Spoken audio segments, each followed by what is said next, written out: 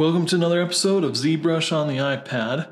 I've got a request from uh, one of my viewers who asked if uh, if I could show my process for using Z spheres to create a T-pose uh, model, T-pose character, and I'm leveraging these three planes from a previous tutorial, kind of give us a, a direction to go. But this kind of gives you a view of basically something similar to what we're going to end up with. And yeah, it looks a little inappropriate on the back, but don't worry about that. That's just part of the process. um, so we're going to go ahead and scrap this and start over. And hopefully we'll all benefit and come up with something even better. So to do this, I'm going to go ahead and uh, hit add a new Z sphere. And then this original Z sphere you know, I'm going to just go ahead and delete it. And it's gone. And so now we're down to single Z sphere. We're going to turn on uh, symmetry mode. And then using move, we're just going to move this into the head position. You know, and you can situate it in all your views. Obviously, you know, if your views aren't set up perfectly, things are not going to end up perfect. Uh, here, that's looking pretty decent. So start out, we're going to use add, and we're going to add little neck piece. And then we're just going to jump right on top of that with the body. Okay. Use move, drag that into position, scale that guy up quite a bit. Remember, you've got your preview. You can always see where you're at. We've got a nice peanut going there. So, congratulations. That's what you meant to do. You're in business, right? Um, so, constantly going around, checking it from various angles. You know, this can certainly be done without these multi plane uh, views, but if you know what you're doing and you have these views, it's certainly going to make for a quicker process and, and get you to your final result uh, quicker in the end. You're going to, your proportions are going to be more spot on. Um, you're going to not be guessing what to do at different stages because you're just going to know. Let's see here. Let's drag out the arm. What I'll do a lot of times is I'll start a thing like this, like an arm, and spread it out. And then you can, using your add, click in the middle of a span there, and then you'll get some additional additional stuff to work with here. So you scale that up, scale it down, pop in another one. Um, I'm getting a little unsure myself of which tool I want to use where. You know, constantly be previewing. You can see our body section got all messed up somehow in the process. Um, and that's probably to do with kind of doubling up on the neck. So if you just kind of move it around, um, maybe play with the scale, move some of these other pieces around that may fix it. Yeah. Now we're in a happier place. Um, let's see here.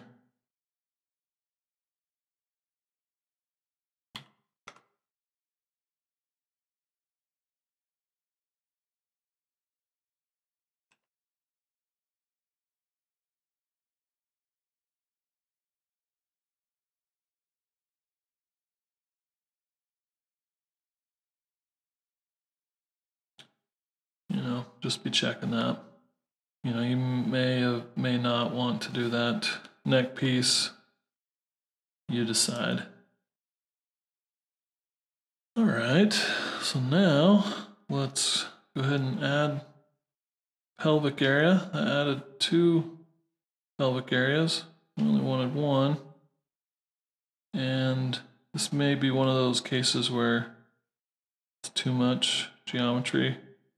Yeah, so we'll just use that as the start of our tail, shall we? You would think, hey, he's done this once. Shouldn't he have it figured out by now? No. No, because, you know, you do things slightly different, change your mind, maybe you, maybe you're trying to work more quickly. So, yeah, it's a whole thing. Add another piece in there. Bring it out. We're looking at it in the various views. Check how things are building. Yeah, that actually is looking okay. And on the last one, I tried to flesh out the butt a little bit more, but yeah, I don't think that was necessarily worth it, worth my while, if you will. I'm Gonna add another piece to the middle, scale that up to chunk up those thighs a bit more. Let's add to the leg, that next extension, kind of the, the calves. And this has been very useful to have my different views and uh, work from those. So otherwise I'd have to be you know, checking proportions again and again and, you know, telling myself that, hey, we'll just address it later, which is true, it's fine. But this is, this is faster indeed.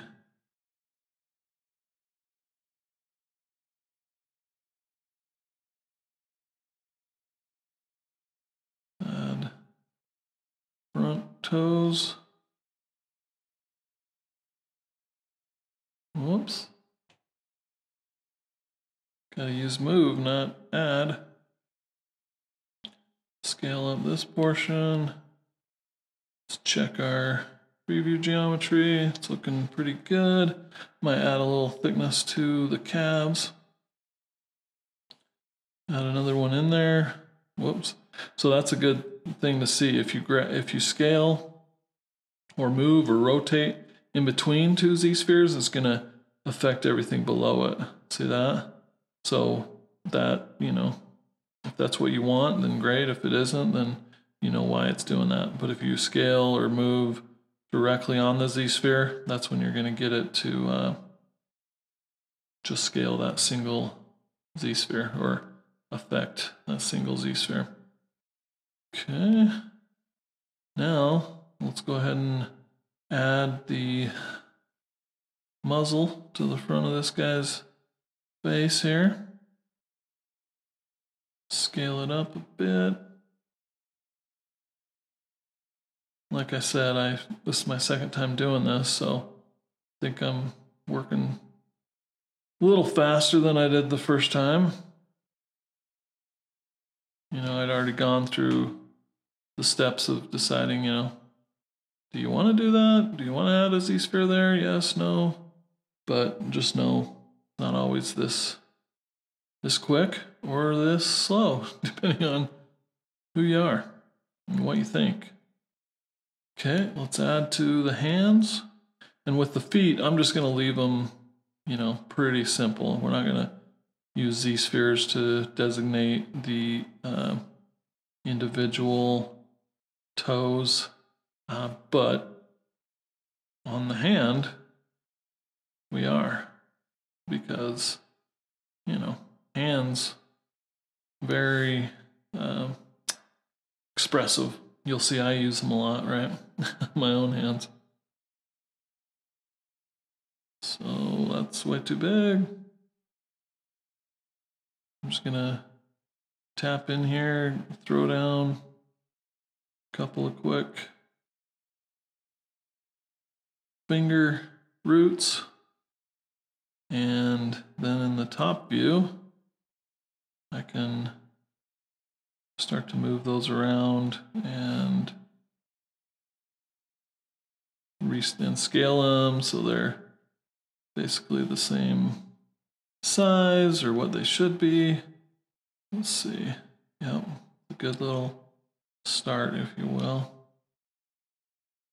Okay, and then we're gonna add on to each of those. Whoops, you gotta use the right tool. That's another thing, like I, I mentioned, uh, or maybe I didn't mention it. I mentioned it in the version that I didn't record. but, uh, you know, I've been using, well, last night I decided to use Nomad for a little bit, and it had been a while because ever since ZBrush was announced, I kind of, you know, didn't want to use Nomad because I was so excited for ZBrush. But, um, you know, I hadn't seen that they had made several updates to bring, you know, their tool, their app that much closer to ZBrush. And so, you know, kudos to all you Nomad users out there. You're definitely benefiting uh, from the release of ZBrush because I think it lit a fire under uh, Nomad to you know add more functionality, give people less reasons to want to switch or more reasons to stay. However you want to you want to spin that.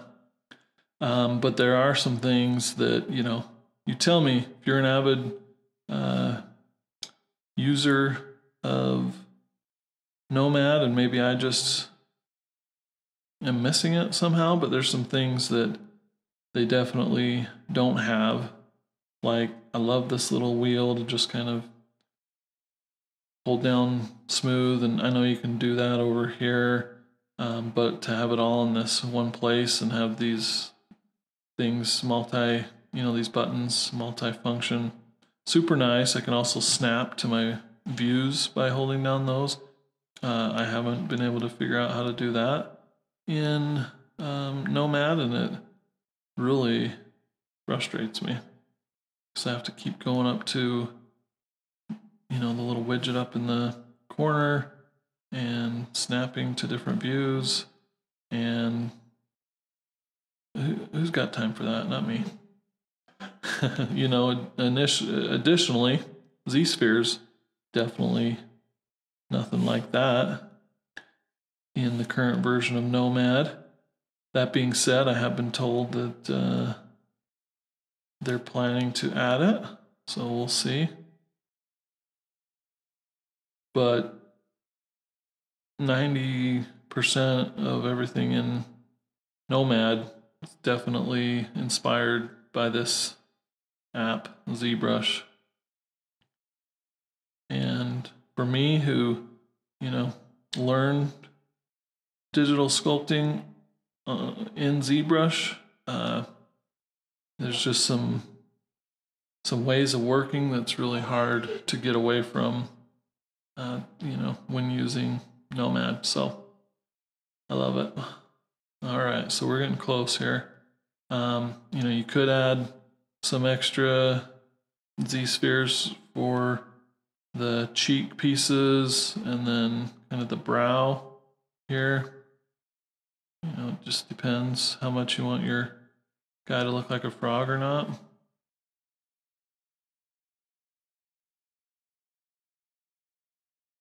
And ultimately, you know, if I take this character all the way to completion, it's not going to be um, this this geometry. This what's the term I'm looking for? Uh, flow, the polyflow is not going to be remain from from this. This is just, you know, this Z spheres stuff is just to get the general shape going, and there are different ways to do it. In previous series, I showed how to do it with insert mesh, and honestly, I probably use that more than Z spheres these days, that process, just because a lot of times I'm just playing when I'm sculpting and I'm sketching, if you will. I kind of use it as a tool to kind of discover what it is I'm trying to create. And so Z spheres is more intentional for me. Like, you know what you're going to make, you've decided that this is the best tool to get you there, and that's all there is to it. You know, not a lot of just playing around. I mean, there could be, but for me, um, that's how that's how I use it. Whereas in the other path of using uh, Dynamesh and and all that, it's like I've sculpted ahead and I just want to start adding to it because I'm I'm running with it. I'm riffing. So, anyways, this is a, a perfectly acceptable T pose character.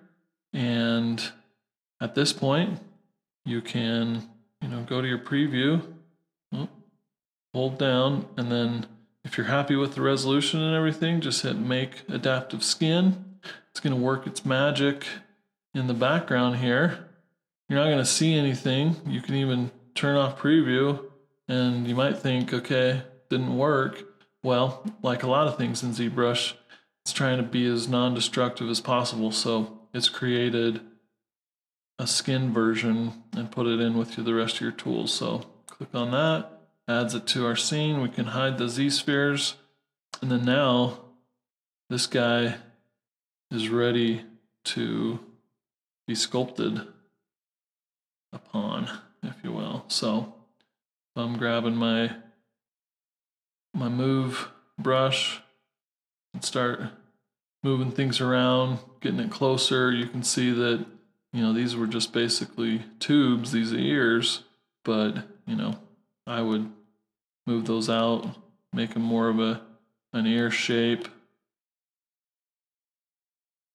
You know, and this level of Dynamesh is a little too much for my liking. Yeah, we had it up pretty high. So I'm going to go to Dynamesh, bring it down to, you know, 115 or so, re-Dynamesh it. Let's look at the, oh, that's a little better. Might even still be a little high. But now things are a little more pliable.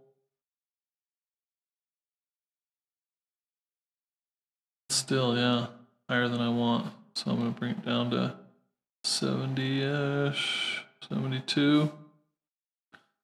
Let's dynamesh that again. Let's check our little pieces, like fingers are still looking okay. All right, and the reason I like to work in the lower poly mode is things just move better you know, because we're making some major changes to the silhouette of our character, and the more polys we have, the more it kind of resists that change. So, see flattening out his feet. It's more of a rabbit foot. You know, so I'm not going to do much of this. I'm just kind of wanted to demonstrate the flow at this point and you know look out for more videos leave comments if you want me to take this rabbit character further but essentially wanted to show you my process for going from Z-Sphere to T-Pose in ZBrush on the iPad.